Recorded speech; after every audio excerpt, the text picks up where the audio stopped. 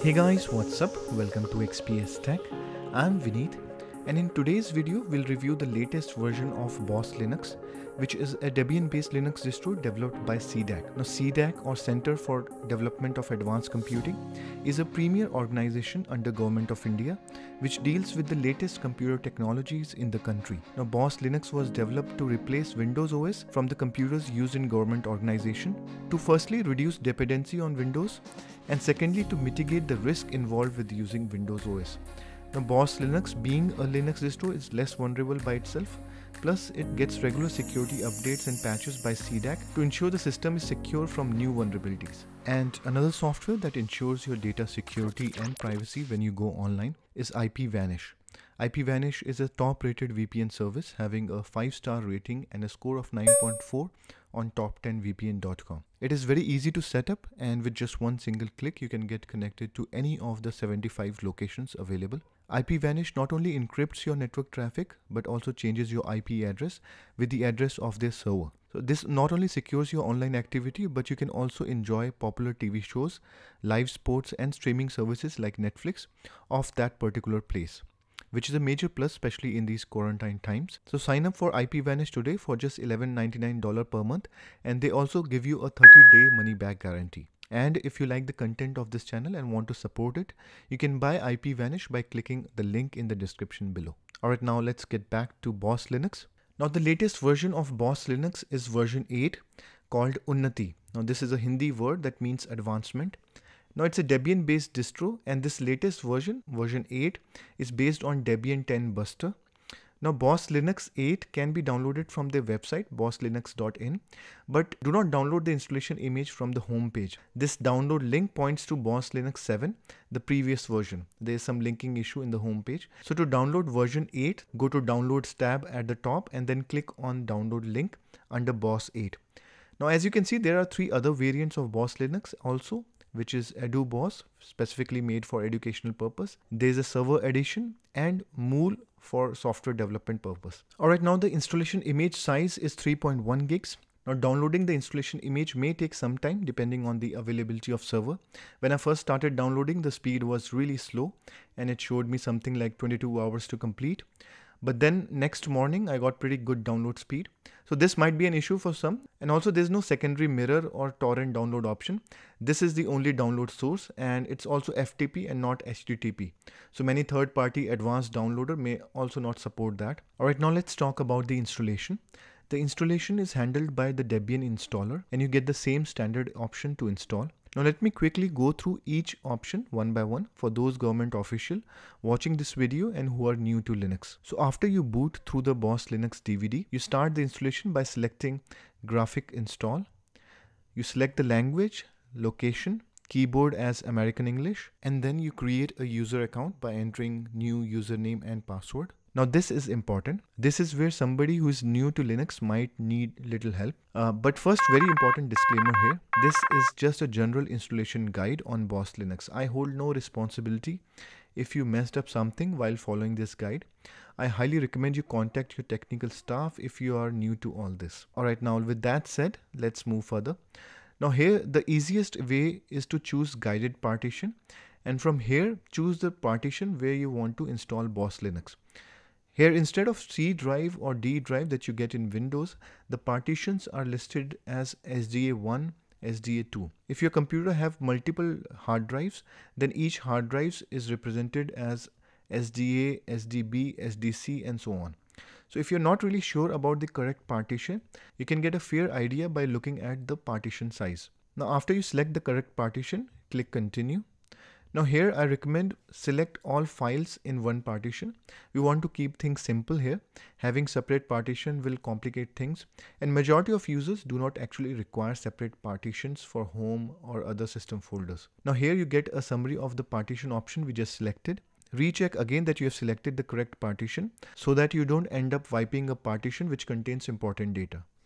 Now guided partition automatically creates a swap partition which is fine. A swap partition is used as RAM replacement for system with less RAM.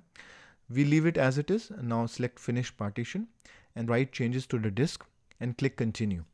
Now it again prompts if you are sure that you want to apply changes to the disk. By default, you have no option selected. Click on yes and then click continue. And that's all the system installation will begin. Now this will take around 8 to 10 minutes for the complete system to install. And once done, the last step is to install the bootloader. Again, this is an important step. We want to install the grub bootloader to MBR else you'll have a hard time booting to Boss Linux. Now one more important thing here is if you are creating a dual boot configuration with Windows in one partition and Boss Linux in another. In that case, I have made a complete video on how to properly do that. I recommend you first watch that video and then proceed. Now here choose the primary partition of your first hard drive, which is SDA, and then click continue. And that's all. The installation is over. Let the system reboot. Alright, now this is the login screen, which is the LightDM display manager. Now the default desktop environment in Boss 8 is Cinnamon desktop. Now here we have Cinnamon as well as GNOME desktop. So you have two options here and Cinnamon is a great addition. If you're new to Linux coming from a Windows OS, I recommend you go for Cinnamon desktop as it resembles to Windows style of desktop layout. Alright, now this is the Cinnamon desktop of Boss Linux. This particular desktop is version 3.8, which is a two year old release. The latest version of Cinnamon is 4.6, which you get in the current release of Linux Mint. But this is expected because first it's a Debian based system. Debian gives highest priority to provide a stable desktop experience. So all the softwares go through a thorough testing process before it makes its way to the final release. Second, this distro again gets refined by Boss Linux team at CDAC which again test all the packages to make sure there's no stability issue in the final release. So software wise, this will be a trade-off when you use Debian based distro. But since it's made for government offices, all you want is a stable distro that gets the job done. And Boss Linux does that pretty well. Alright, so now let me quickly give you a desktop tour. The bottom bar is very similar to the taskbar of Windows with start menu on the left and system tray on the right. Now to make changes to the desktop, you use settings app. Here you can make many adjustments. Let's go through some of them. Now all the available settings are divided in four categories. Appearance, preferences, hardware and administration. Now appearance lets you change the theme of the desktop. So you can change the theme to Cinnamon original desktop, which looks like this.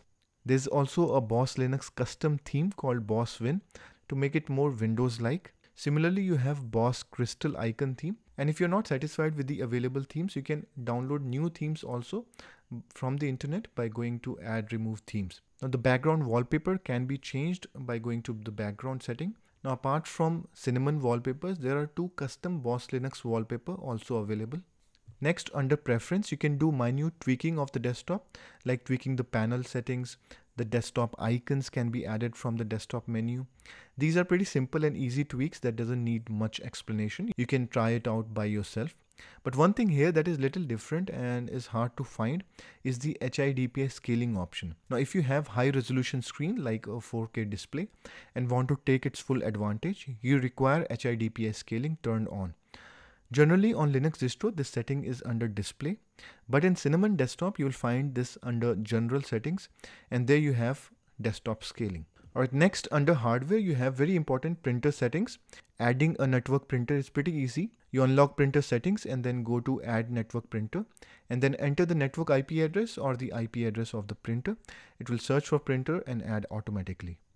Alright, now let's talk about the softwares. Now there's a pretty decent list of pre-installed softwares available that will be sufficient for most day-to-day -day office work.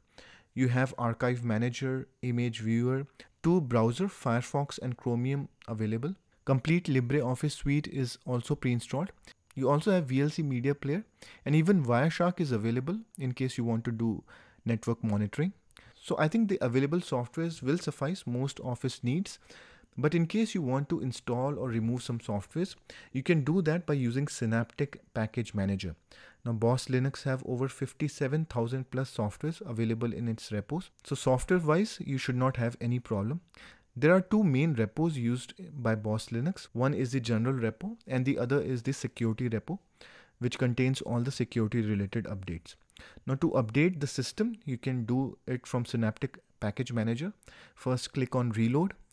Here the softwares for which new updates are available are marked with a gold star. The softwares that are already of latest version and doesn't have any new updates only have green box with no gold star and then click on mark all upgrades. Now after you click on mark then click apply. Now this will update the system with all the latest updates. Alright, now at last, let's talk about the availability of support in case you require any technical help. Well, on the website, there's no help material or guides available. There's a resource page, but it just have basic information related to FOSS. There's no user forum as well. And to make it worse, the feedback page also doesn't work. But there's a Google group for support and this is the link and I was going through it. Uh, the support team do respond to user issue, which is great. So in case you need any help for any specific issue, you can get it from here, but I think they could have at least made an installation guide on their website. Alright, now the hardware requirement for running Boss Linux 8 is 2 GHz of dual core processor or above, 2 gigs of RAM, and 40 gigs of hard disk space. But for a smoother experience with Cinnamon Desktop, I recommend at least 4 gigs of RAM. Alright, so that was all for today. Boss Linux 8 Unnati is definitely a huge upgrade over the last version.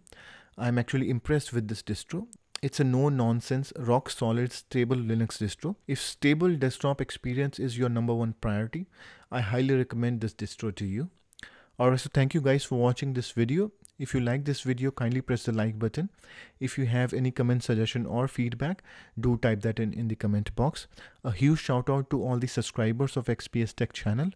Thank you for your support and thank you again for watching and I'll see you next time.